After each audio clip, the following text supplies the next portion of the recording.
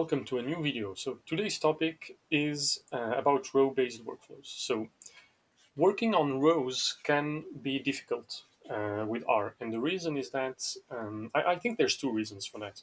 First of all, people have either the uh, spreadsheet model in their heads, and they when they look at data, they see spreadsheets, or um, they have the matrix matrix matrix model in their head. So when they look at the data frame, they think it's a matrix.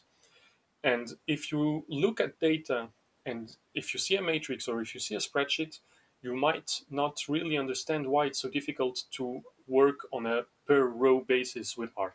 What I mean by that is that you want, for example, to um, you have some so you have your data frame with with rows, and you want to apply a function on each element of uh, that row, and you want to do that on a per row basis. Okay, so I'll illustrate with an example so it will make things clearer.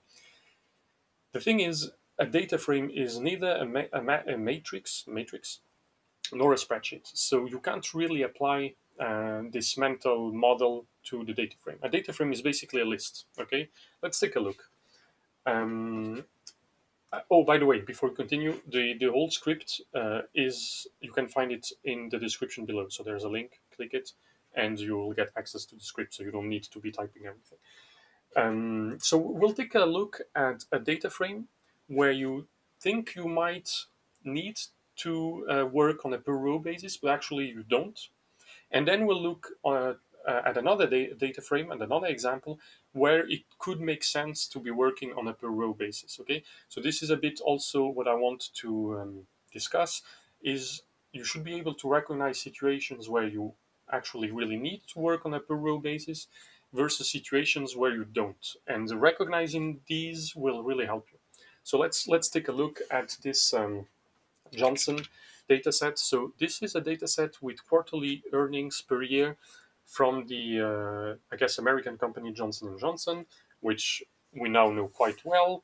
Actually, Luxembourg has started receiving some uh, Johnson & Johnson vaccines since, I guess, two weeks ago now anyway, um, if you look at that, and if you have this matrix or this spreadsheet mental model in your head, you might look at this and you might think, oh, this is great. Um, I actually want the, I want to look at the average earnings per year. Okay. So what I'm going to do is I'm going to simply call the mean function on each row.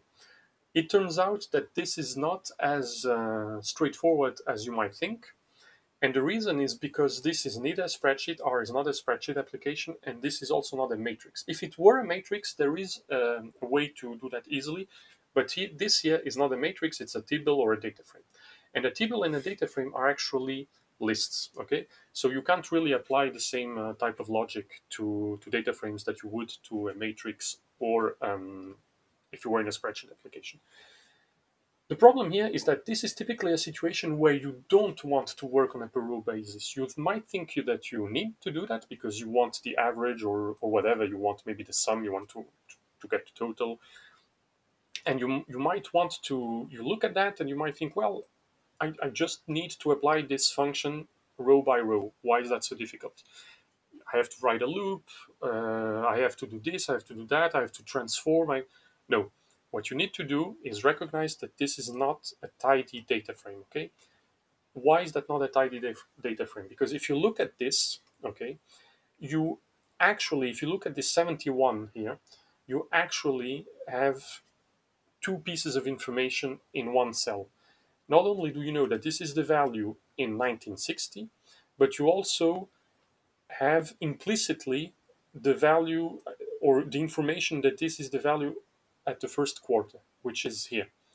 But this thing here, quarter one, quarter two, quarter three, and quarter four, this is also okay this is this is also observations. These are also observations and here they they are playing the role of a variable which is which is not um, it's not what you want okay? This is not a tidy data frame. This are actually values of a variable that you don't see that is not apparent, it's implicit, but these are values of a variable that you could call quarter. So you would have a variable called quarter, and then you would have quarter one, quarter two, quarter three, quarter four. So this is not a tidy data frame. And maybe recognizing um, that this is not a tidy data frame is not really easy, and I, don't know if my explanation was really very good, but I guess it takes it takes practice. Let me show you why um, or how you could uh, cast this into a tidy data frame and then get the answer that you want. So for this, we're going to transform uh, that into, um, let me let me save it directly. Um, how should I do that? Yeah, let's let's go with Johnson Tidy. I guess it's better to get to have both to, to, to save both. Um, so I start with um, Johnson and Johnson. So I start with my data set, and what I want is actually to pivot longer. So I want to um, to gather it. Okay, I want to gather these variables. Okay, so let's take a look at pivot longer. So the columns that I want to pivot, okay, are the columns that uh, start with quarter. So let's write that. So cols starts with quarter. Okay, then what I need to do is give this new variable, this implicit variable, give it a name. Okay, so I just told you before, we're going to call it quarter. So I'm going to say that these columns name to a new variable that I call quarter. Okay, and now uh, I also have to say where do the values come from. Okay, so the values they uh, simply um, oh no sorry the values we, they come from quarter, so we know that. Now we need just a new column that is called we can call it uh, earnings. Why not? And this is where we're going to put the earnings. Okay, and um, this should already be something that could help us out much better. So now this is the tidy version of the dataset that we had before. So now each um, year has four rows, okay, and we have three variables with this new variable called quarter. So um, in the first year, okay, 1960, quarter one, we have this value. 1960, quarter two, we have this value, and so on and so forth. So I hope that now that you see the uh, tidy version of this data frame that it clicked, but if not, well, uh, I guess it really just comes maybe with practice. Um, but once you once you you see that, you'll recognize immediately data frames that are not tidy. And this is not just a, this is not an R concept. Okay, this is this uh, concept of tidy data frames um, or flat data uh, flat files, etc. This is something that you you can find in, for any piece of software, statistical analysis software, and that you really need actually to work with uh, easily. So um, now that I, I have this tidy data frame, I can group by year, and I can compute uh, the total or whatever the average of my earnings. It doesn't matter. Now I have my average earnings. Okay, so this is again, a solution uh, or a situation where you actually don't want to work on a per row basis. Because uh, that's actually what you want is to have this average uh, earnings. You actually don't really want to add a new column. Okay, so this is this is also maybe a little trick to help you recognize the situations. What do you actually want to do? do you just want to look at the average earnings and maybe put them in a table in your paper or do you really want to add that as a column maybe for uh, to do some regression analysis this is where you might need to actually add this as a column so now we're going to see that okay how would you add this as a column so before showing you the second data frame let's um, continue working with this one and let's see how you could um, how you could work uh, or how you could add this column. So this is going to be a bit more complicated.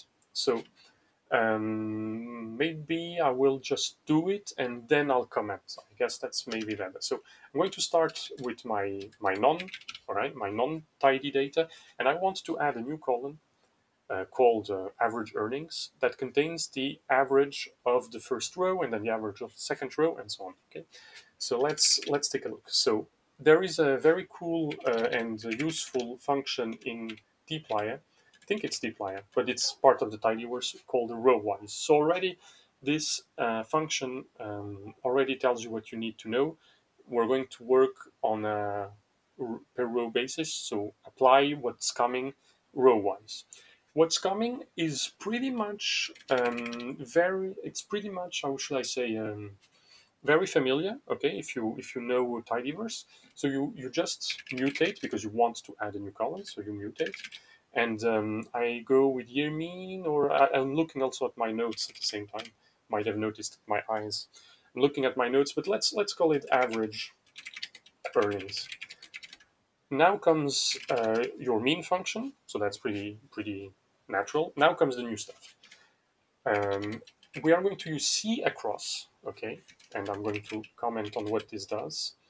Starts with quarter. So I just want to take the average of uh, maybe let me um, yeah maybe let me write it like this. I just want the average of the columns that start with quarter. I don't want to do the average of every column because then I would also take my year as in the average, which of course doesn't make sense. So let's uh, let's see what comes out of it. And here we get the same stuff as before. Now we get it as a column. Do you really want that as a column into your data? Probably not. Okay, so that's why I'm saying you need to recognize these situations. Um, but if you want, that's how you would do it. Okay, so why, um, what, what, what's happening? Okay, what's happening? So C across is a function. Oh, and by the way, in the description, I'm going, I'm going to sneeze. No, I'm going to add the um, link to the vignette of across and C across. What I'm showing you here, it's everything is there. Everything is in the vignette. So read the vignette. Uh, it's very well explained, and I'm not showing you anything more.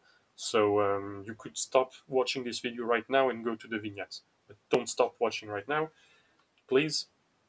C across. So what does C across do? C across, the way I understand it, and maybe that's totally wrong, maybe, but it works for me.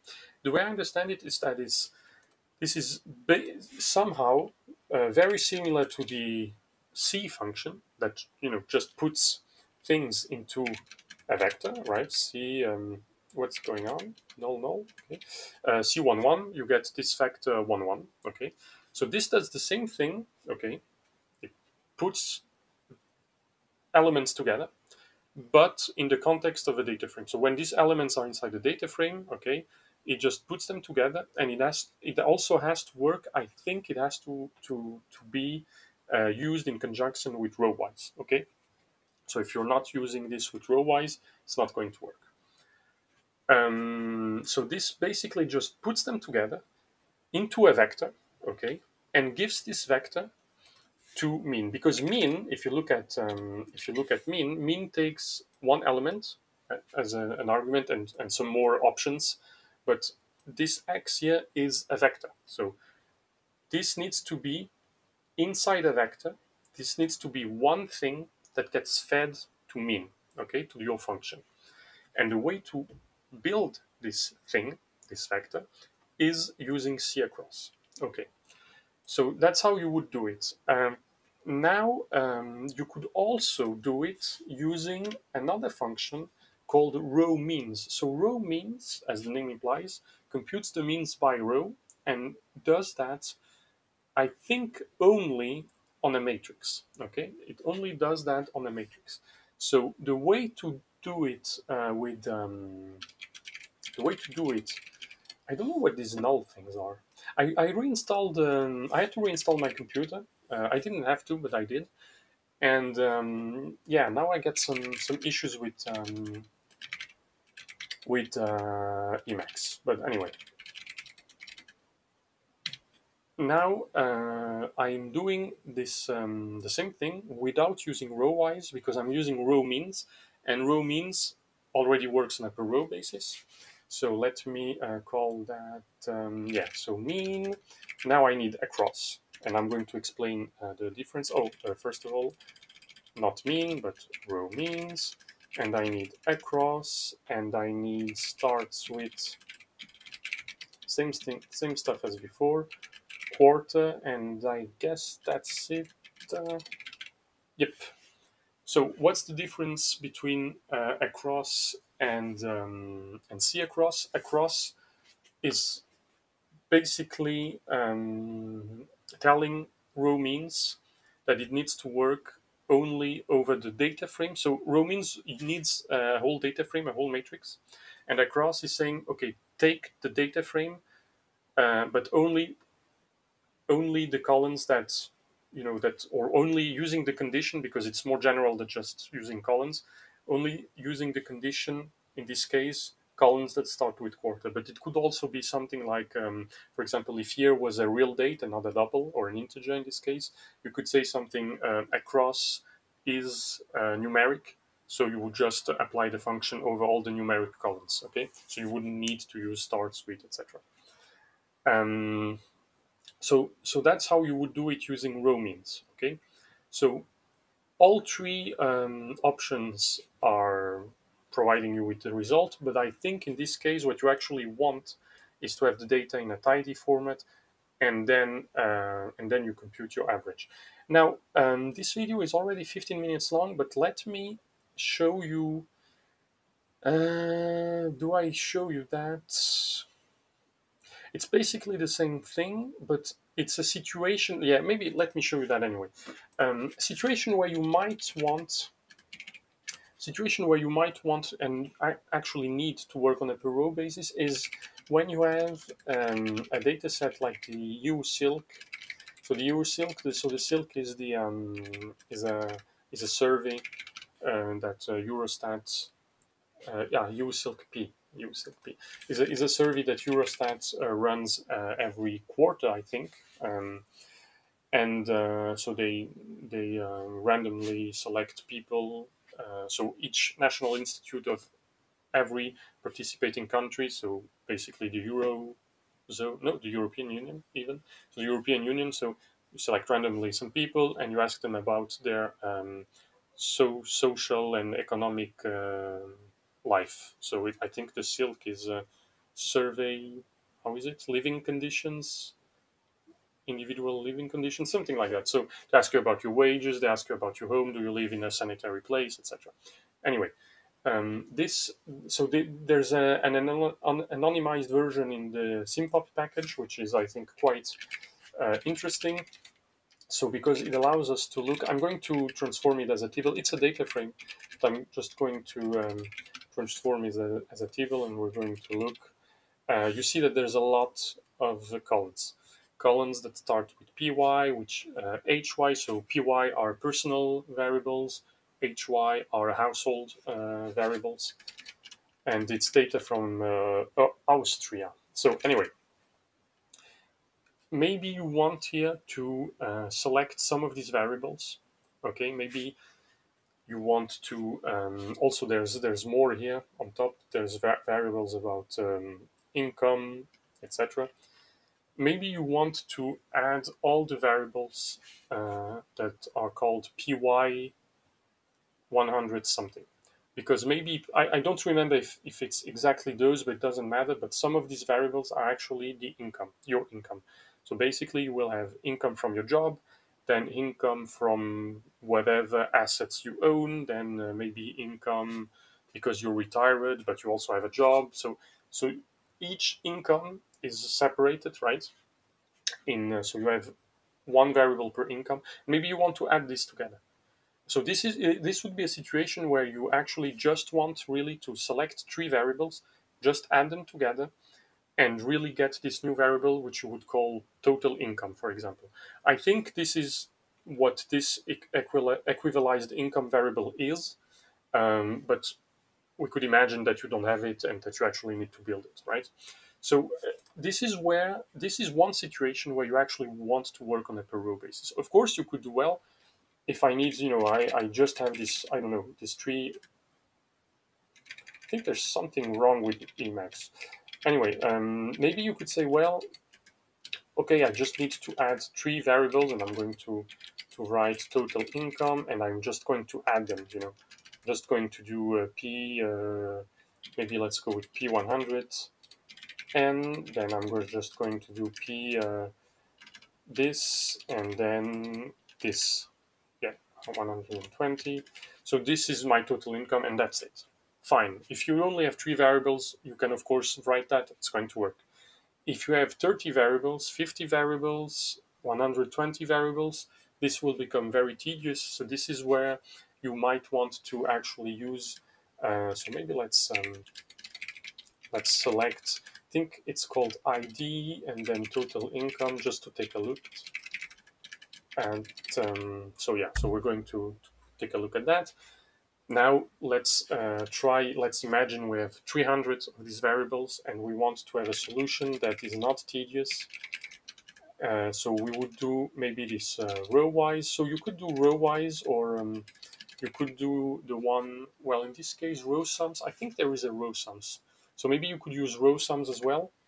Uh, but row-wise and then C across is much more gener uh, general uh, than this solution with row means because there you need these factorized functions that you might not have depending on what you want to do.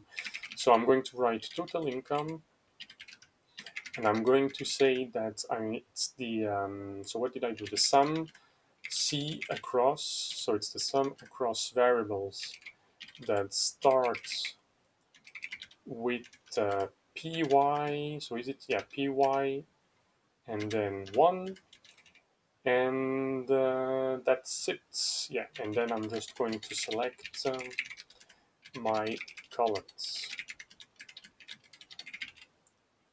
and I think I forgot the parentheses. Oh no, I didn't. Yeah, so you've seen it, it took, um, yeah, I, I, thought I had forgotten the parentheses because it took some time to run.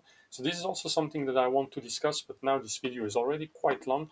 Actually, this row-wise uh, thing, it's quite slow.